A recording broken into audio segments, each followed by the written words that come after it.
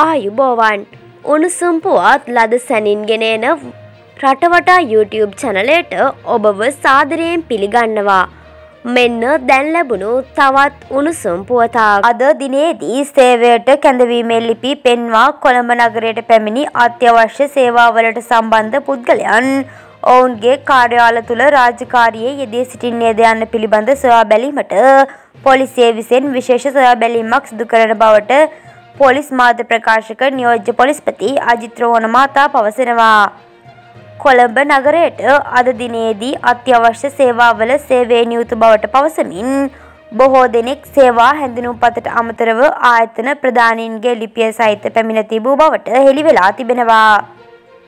නමුත් රාජකාරියේ යෙදී සිටින පොලිස් නිලධාරීන් පැවසුවේ එලෙස පැමිණි පුද්ගලයන් සතුව තිබූ ලිපි නිකුත් කිරීම අක්‍රමවත්ව සිදු කර ඇති බවට පෙනී ගොස් තිබූ බවයි.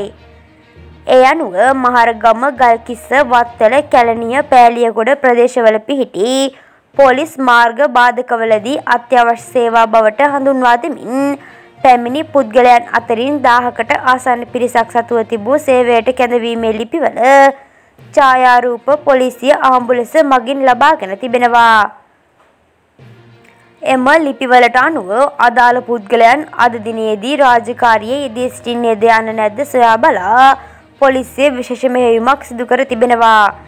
එෙහිදී යම් හේකින් අදාළ පුද්ගලයා රාජකාරියට කැඳවීමක් සිදු කර නොමැති බවට අනාවරණය වුවහොත් ඔහු සේවයේ රැඳී සිටියේ නැත්නම් අදාළ ලිපිය නිකුත් කර තැනැත්තා කූට ලේඛක සැලසීමේ චෝදනාව යටතේ මෙන්ම සේවයට යන බව පවසා අසත්‍ය ප්‍රකාශ කිරීමේ චෝදනාවට අදාළ සේවකයාට නිරෝධාන රීති කඩකිරීමේ චෝදනාව යටතේ ක්‍රියාමාර්ග ගන්නවායයි පවසමින් පොලිස් මාධ්‍ය ප්‍රකාශකවරයා වැඩිදුරටත් කියා සිටියා.